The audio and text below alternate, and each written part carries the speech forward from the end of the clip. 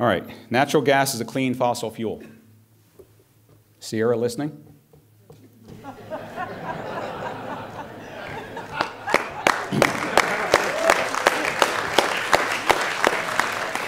I realize they're my co host,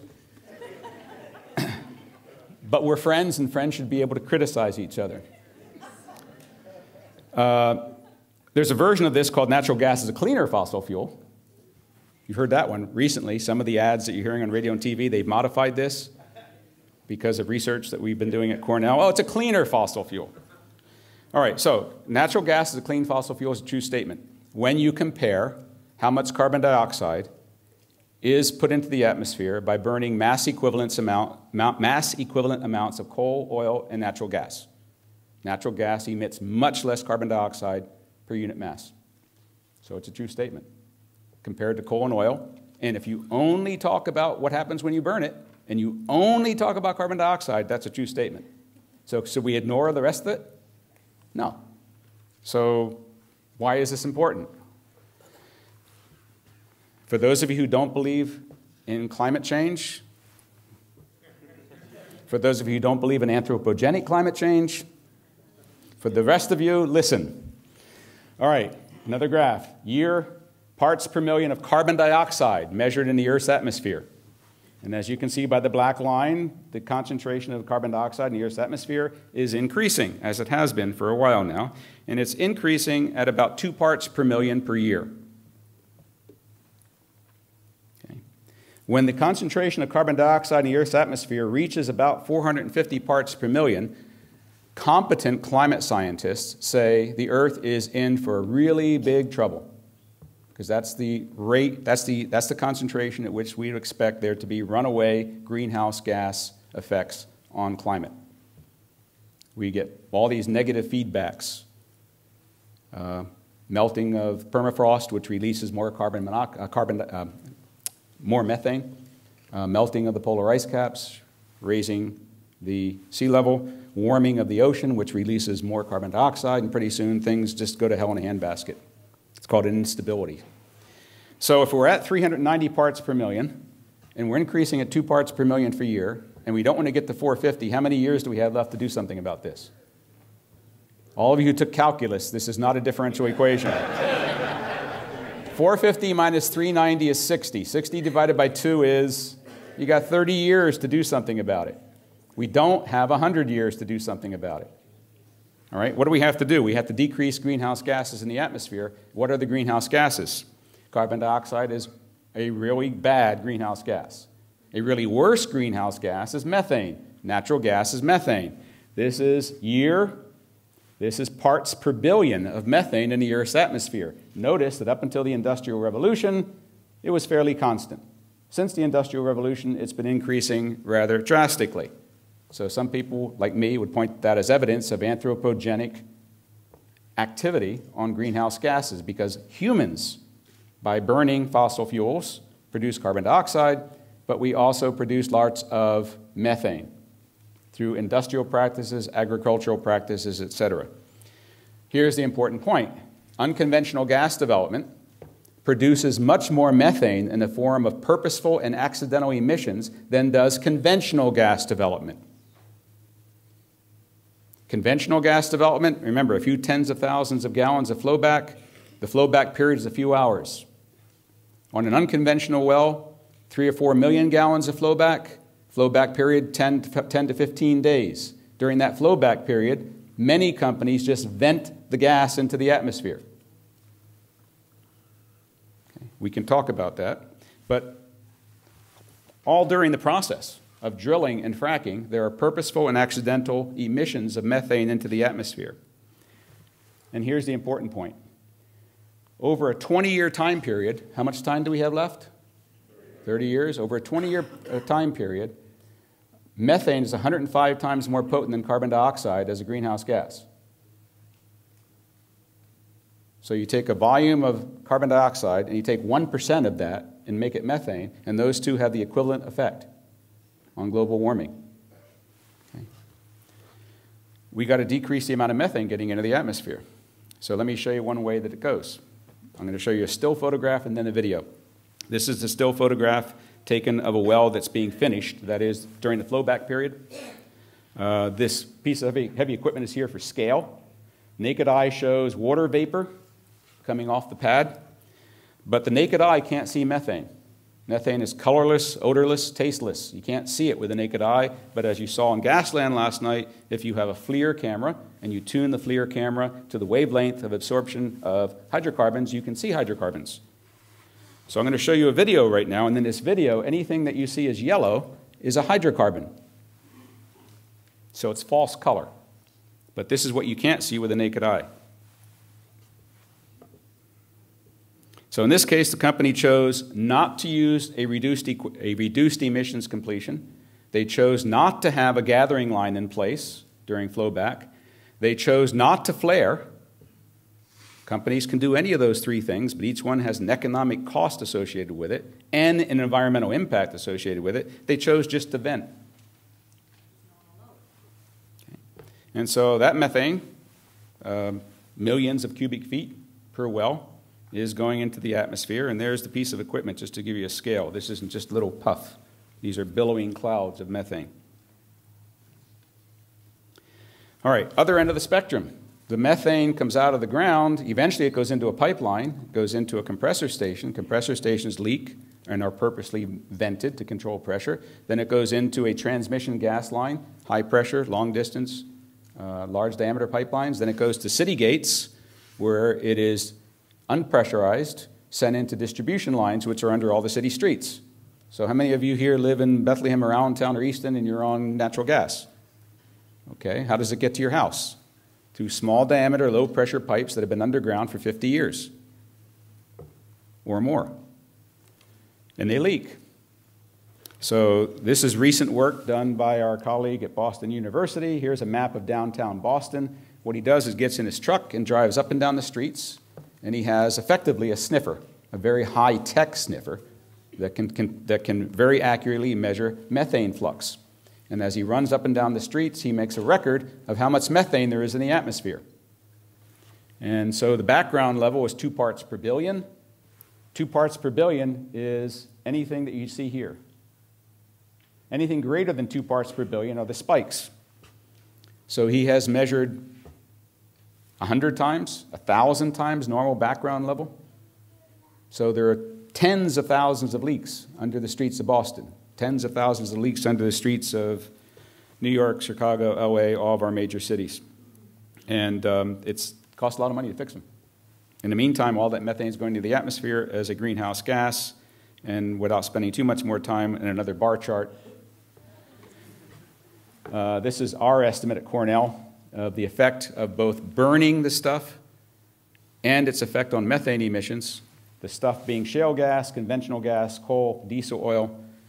The higher the bar, the worse. So this is the carbon dioxide that's emitted, that's the black. Blue is the carbon dioxide emitted through all the equipment that's necessary to get the stuff out of the ground. Uh, the pink is methane emissions. And so we have a lower estimate and an upper estimate our lower estimate makes unconventional gas dirtier than coal or oil. And the industry doesn't like to say us, does not like us to say that. And they're doing everything they can to discredit us personally and discredit our science. And yet, every paper that's appeared in the last couple of months seems to support what we predicted. Of course, there are the papers that come out from certain places that are not peer reviewed, or places that come out from peer reviewed journals from scientists who are supported directly by the gas industry that seem to take uh, offense of our science, but that is what it is. Okay, last graph, and this is probably the most important thing I'm going to leave you with today. So I'm going to spend a full couple minutes making sure you understand it. This is a graph that appeared in uh, the most recent issue of Science magazine, which, as you know, is the single most prestigious peer reviewed journal in all of science. And it was authored by uh, Drew Shindell, who's a scientist at NASA's Goddard Institute for Space Sciences, uh, authors from NOAA, National Oceanic Atmospheric Administration, and seven or eight other authors from around the world, all very prestigious climate scientists. This is year from 1900 to 2070, and this is the change in the average Earth temperature over some baseline. And the International Panel on Climate Control an element of the United Nations, has declared that as a baseline, we're going to use the period 1890 to 1910. So they averaged the Earth atmosphere over that 20 year period and called that baseline. So that would be zero. So since 1900, this is a record of average Earth temperature. So in 2010, the average Earth temperature had risen by about 0.9 degrees centigrade over the baseline. If you extrapolate, just a straight linear extrapolation, you get purple. So they have these very complex computer models that say, all right, if our computer model can explain this, then we will use the computer model to tell us what will happen in the future if we do absolutely nothing. No cap and trade, no control on carbon dioxide, no control on methane, no control on black carbon. Business as usual. Drill, baby, drill. Burn, burn, burn. What you need to know is that when we get to 2 degrees centigrade, that's when all hell breaks loose. That's the 450 parts per million of carbon dioxide. That's when we have all the negative feedbacks, runaway global warming. That's what the scientists say. So you never want to get above 2. Warning is at 1.5. This is like the yellow light, this is the red light. So business as usual, 2000, 2010, 2020, somewhere around 2030, hopefully most of us will still be alive, we're in bad shape if we don't do anything. All right, so there are various computer models that say, well, wait a minute, what's the most important thing, the most cost effective thing, the most immediately possible thing that we should do to try to delay that? Well, we should start doing everything to decrease the burning of fossil fuels, all of them. That's a given. But if you want to delay this, you can delay it by up to 20 years if you decrease methane and black carbon being emitted into the atmosphere. That would be this curve right here. So if you're going to spend money to do something quickly, spend money to decrease methane emissions and black carbon emissions. Okay? Well, black carbon emissions comes from burning really bad stuff um, that produces soot. How do you decrease methane emissions? Stop, yeah, you got it. Stop production of unconventional natural gas from shales because unconventional natural gas from shales is the single most prevalent present source of methane emissions, and it's happening where first? What is the United States now proudly displaying to the rest of the world? Exactly the wrong example. So, we're not supposed to be doing any kind of lobbying today? but I think you know where that goes.